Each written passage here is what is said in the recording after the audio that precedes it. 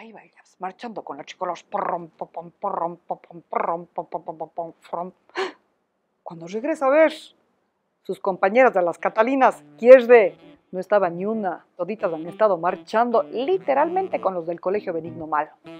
De malos los del Benigno no, no tomarle en cuenta a la pobre Abrilla, de ahí quedarse la Virgen para siempre.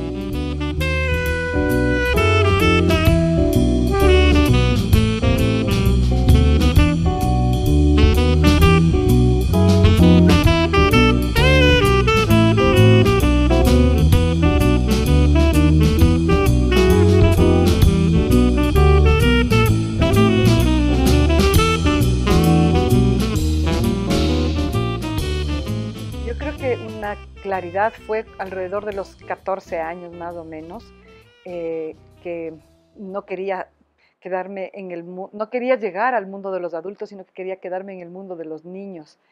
Y empecé a entrar en una crisis muy fuerte de, sentir yo no quiero dejar de jugar, quiero seguir jugando en mi vida, ¿qué voy a hacer?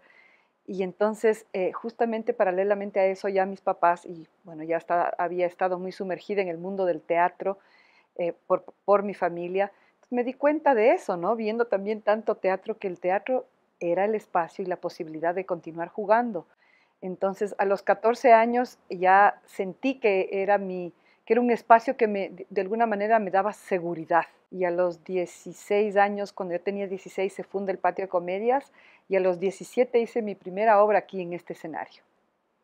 Aquí hemos sido felices, eso puedo decir. Em, me emociono porque eh, es un espacio que, tiene vida.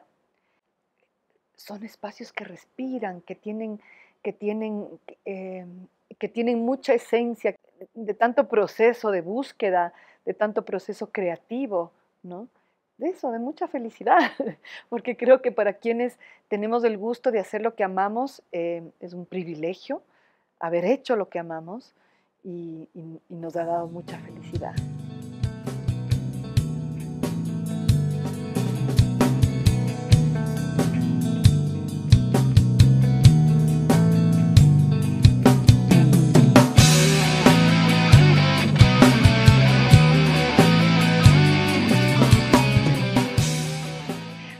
yo creo que la risa realmente es una posibilidad maravillosa, primero de conectarnos con nuestra inteligencia, de hacer un juego irreverente de la misma realidad, de igualar también la realidad. Eh, el humor tiene esa inmensa capacidad, además de poderse reír, creo yo, de uno mismo, autodesacralizarse a uno mismo para poder en este, en este sentido alivianar tu, tu propio ser, tu ego, el humor humaniza, el humor conecta, eh, el humor tiene esa, esa capacidad maravillosa eh, de, liberar, de liberar tensiones, de liberar prejuicios, de liberar la potencia, la posibilidad de lo que acontece en, el escenario es un acontecimiento mágico. El espacio del teatro es, eh, es mi manera de estar en la vida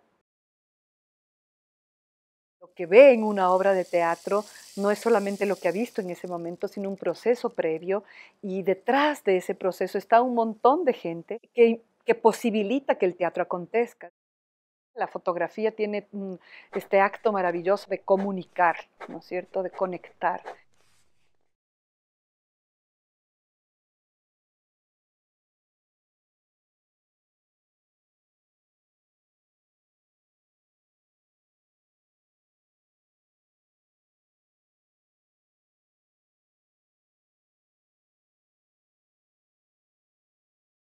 Sembramos futuro.